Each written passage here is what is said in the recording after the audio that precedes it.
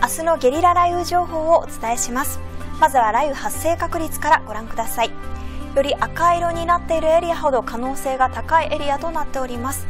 東北から近畿にかけて黄色や赤色が広がっている状況です。特にですね関東東日本や東北エリアでは雷を伴い雨が降る恐れがありますので十分な注意警戒をしてください。それでは雨雲の様子も合わせて見ていきましょう。朝の8時から時間を進めて見ていきます。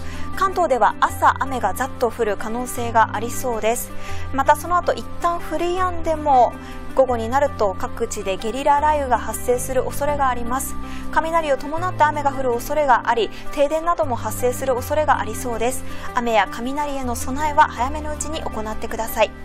ここまではゲリラ雷雨情報をお伝えしていきました。